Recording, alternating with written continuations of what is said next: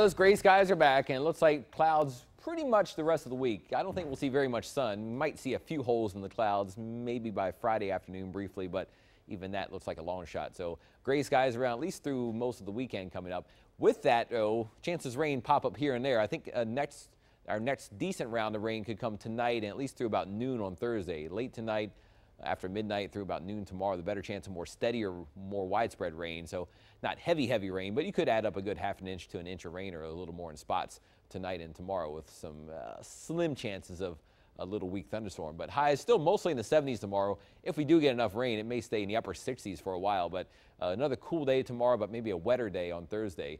You can see a couple little showers popping up over the last few hours across the valley. This is the last three hours. Most of the rain staying offshore, but inland we've been tracking some small showers across mainly Hidalgo County.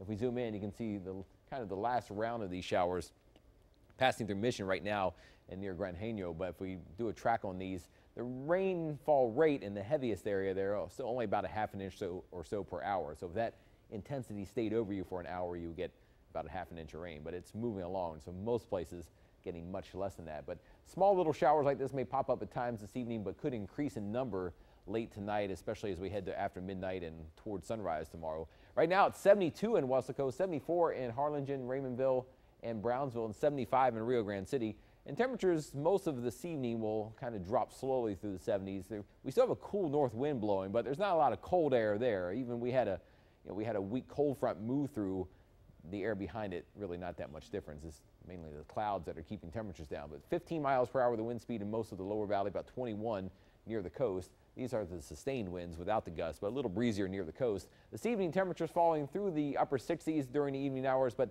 chances of showers you could say during most of the evening, probably holding at about 20%, but then begin to go up higher and higher by about midnight and later. So you could be seeing some steadier rains late tonight. You look across South Texas, a couple of showers here and there, but nothing really widespread in the state. But there's a bit of a disturbance rolling in from the west that should generate more light to moderate rain at times tonight and tomorrow. Future track kind of shows this.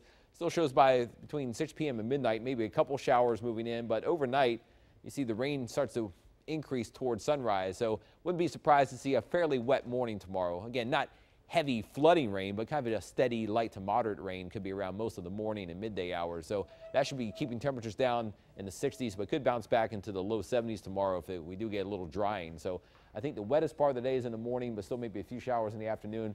Thursday is another day when it should stay cloudy all day.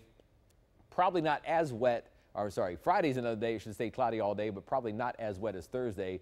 A few showers may pop up from time to time, but the clouds will likely hold on most of the day, maybe a few holes in the clouds late in the day. Friday night, still some clouds, and maybe a little sprinkle or shower, and even Saturday, you see the clouds aren't going anywhere. You may see a couple of light rain showers, but it doesn't look like heavy rain on Saturday with highs still probably in the 70s. The rain chances 60% tomorrow, and again, the high point probably in the morning hours, and 40% on Friday and 30% on Saturday for some lighter rain showers around. So your first 1570 forecast, well, you know what? I forgot to move that Veterans Day icon.